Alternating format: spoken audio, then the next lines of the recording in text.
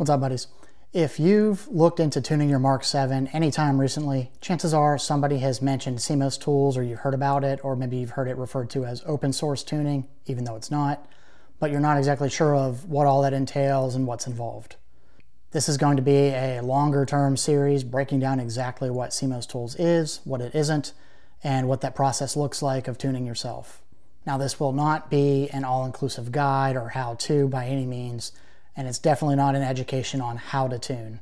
There are dozens of box codes with these cars, each of them with unique quirks that you have to work around. Um, I'm not going to be able to cover them all because, frankly, I own one car. This is merely going to be a glimpse into the process of DIY tuning as it relates to my car and problems encountered, and we'll work through those together. I'm hoping to demystify the process to some degree because when I jumped into it about two and a half years ago, it was pretty daunting, if I'm being honest. It's important to know that I am not a tuner and as such, I am not going to be liable for anything that happens to your car.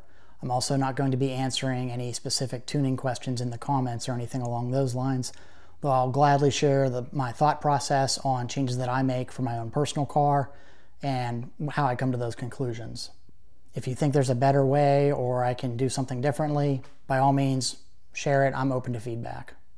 This entire series is going to be broken down into very small chunks. I'm going to be aiming for three to eight minute long videos or so, and it's going to be meant to be watched in order.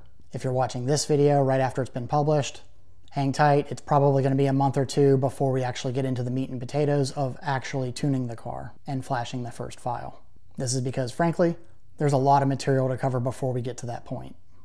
Once we get fully set up, we'll be going through the tuning process on my IS-38 equipped GTI, We'll follow it over a handful of revisions, and I'll also share some of the stuff that I've done that I've found helpful for track and autocross use as it pertains to the tune specifically.